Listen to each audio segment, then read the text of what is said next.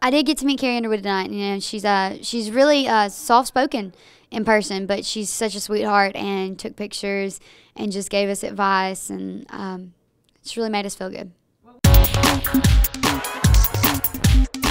Uh, from the top 10, missing most, probably now, would be Josh and Hollie, my best friends here.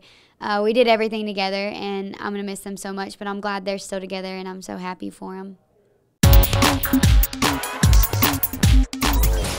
I don't think I'd do anything differently in this competition. You know, I've, I've showed who I am, and hopefully I have a career ahead of me, and um, I'm just thankful to be here, you know, still.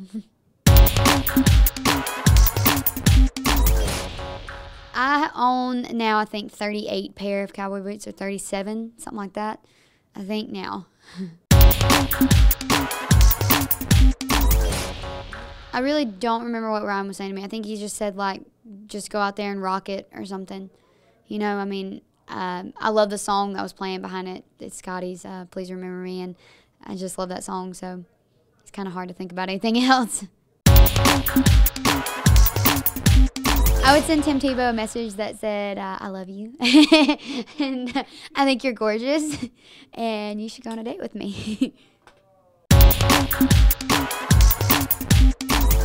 I won't be able to live without my guitar, my phone, or my boots on tour.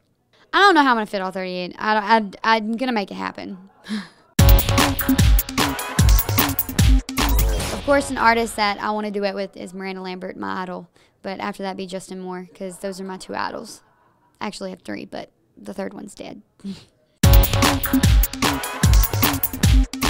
I know the third most. The third most is Hollie's song "Power of Love," but I think the first is Justin Moore or Miranda Lambert song. I can't remember which one.